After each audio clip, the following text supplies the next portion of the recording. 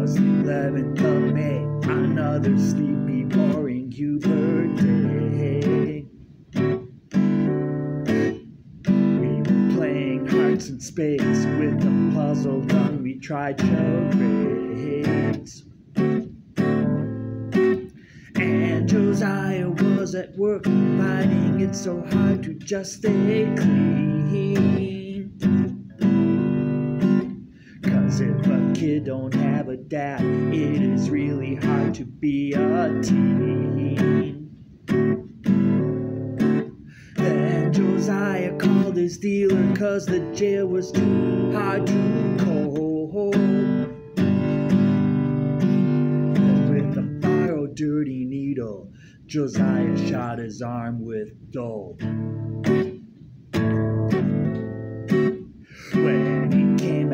To jail, the oh, zone C with clock was reading eight.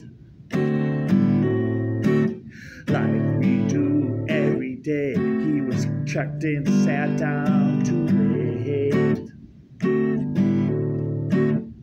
But he's acting kind of weird, talking, saying that he could not see.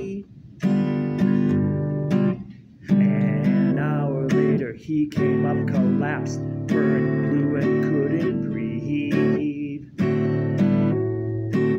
The CO tapped his arm, getting ready to administer some drug.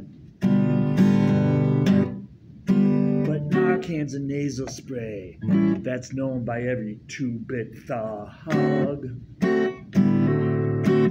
The CO spent some time walking, asking God, Where's the Narcan? It was used up last week and was never ordered by a captain. With 50 inmates watching, he kept looking as a man turned to blue. The ground, all his friends thought, man, he's through. As a fellow inmate, I am not supposed to see just what went wrong. But my grandpa taught me courage, so I gotta write and sing this song. Where's the Narcan? Where's the Narcan? The Narcan, Narcan. The CO is yelling. Where's the Narcan? He's blue on the floor. Where's the Narcan? Did they order any? Josiah's turning blue. The inmates, they know just what to do. The previous song is a true story in the Waukesha County Jail.